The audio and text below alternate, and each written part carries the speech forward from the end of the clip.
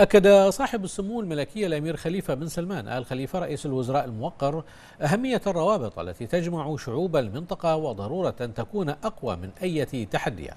مشيدا سموه بمبادرات خادم الحرمين الشريفين الملك سلمان بن عبد العزيز آل سعود عاهل المملكة العربية السعودية الشقيقة في مساندة ودعم شعوب المنطقة وتحقيق مصالحها وحماية أمنها واستقرارها. جاء ذلك خلال استقبال صاحب السمو الملكي رئيس الوزراء لعدد من المسؤولين بالمملكة والفعاليات الفكرية والثقافية والصحفية.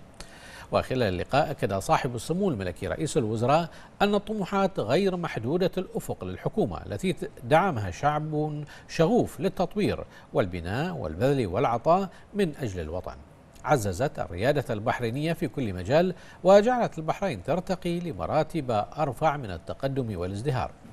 لافتا سموه إلى أنه على الرغم من التحديات التي اعترت المسار التنموي إلا أن الإصرار الحكومي والعزم الشعبي على التقدم كان أقوى منها ومكن البحرين من تجاوز كافة الصعاب التي تؤثر على خطوات التقدم وتحويلها إلى عناصر محفزة لتحقيق المزيد من أجل هذا الوطن وشعبه.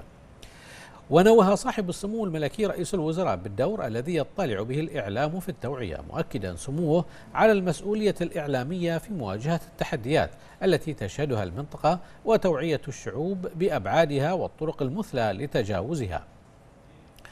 كما استعرض صاحب السمو الملكي رئيس الوزراء مع الحضور عددا من الموضوعات المتصلة بتطورات الأوضاع ومستجداتها على الساحتين الإقليمية والدولية.